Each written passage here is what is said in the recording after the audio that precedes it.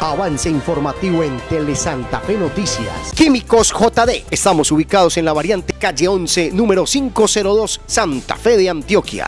Todo en un solo lugar.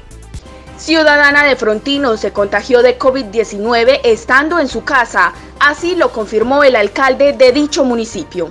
Ella se tomó la prueba voluntariamente. Lleva dos meses encerrada en la casa si alguien la contagió fue alguien que visitó en la casa o que tuvo contacto con ella en la casa.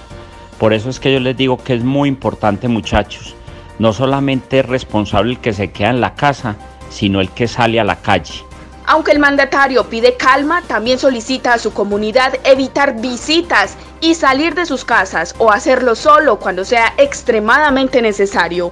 Espere más información este domingo a la 1 y 30 de la tarde por Tele Santa Fe Noticias. Avance informativo en Tele Santa Fe Noticias.